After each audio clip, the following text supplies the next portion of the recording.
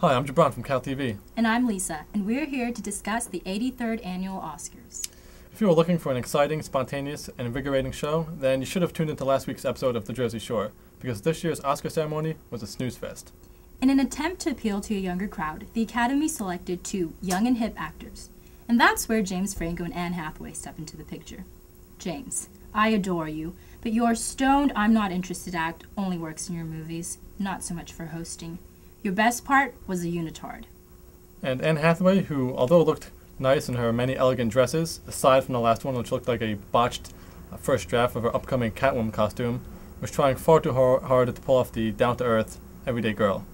Anne, you're a Oscar nominated movie star, so flaunt it.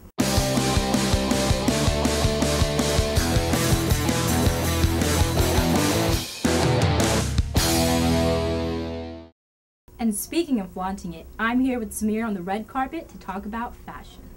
Yes, every year the Academy Awards is an incredible parade of the good, the bad, and the hideously ugly. So, who are some of your favorites and least favorites this year, Lisa? Well, as you know, Cate Blanchett is my absolute favorite. Anything she wears is absolutely gorgeous. She could wear a paper bag and make it look amazing. Yeah, apparently she can make flesh eating bacteria look gorgeous too, judging from the design of those multicolored pearls all over her outfit. I guess you could say that, but you know, it captured really well on camera, so. What were some of your favorite dresses? I really loved Hailee Steinfeld, who was an Academy Award nominee for Best Supporting Actress. She looked absolutely adorable in that in that dress, like a little princess. Like a ballerina, to go along with the White Swan theme. Exactly. And our Black Swan, Academy Award winning Natalie Portman, I thought looked absolutely wonderful, pregnant and glowy. Right. In a lovely shade of purple. She's not 85 pounds anymore. She gained some of that weight back, right? She did. And what were some of your least favorite dresses? Least favorites, I would have to say the winner for Best Supporting Actress, Melissa Leo.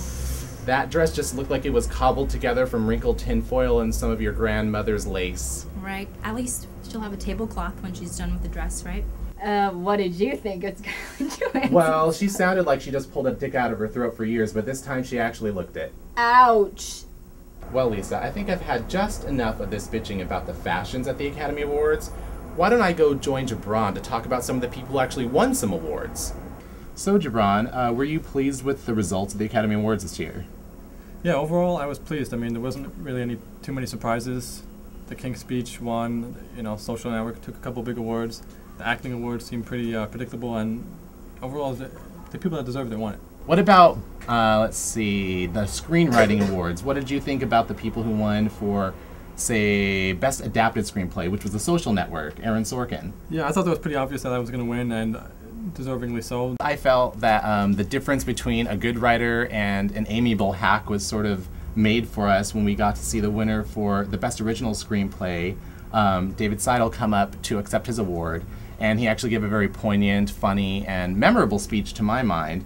And then Aaron Sorkin on stage decided to end his with a really pathetic quip about his kid's gerbil that was supposed to be funny, but just sounded horribly desperate to me.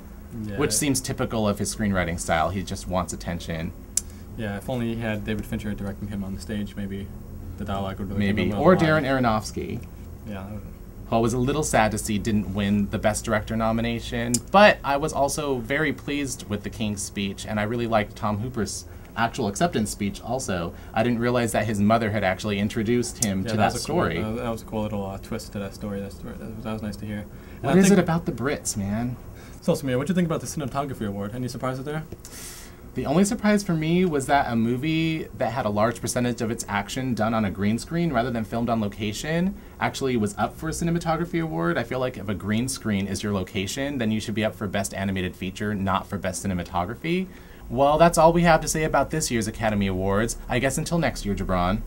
Thanks for watching. See you guys next time. Goodbye.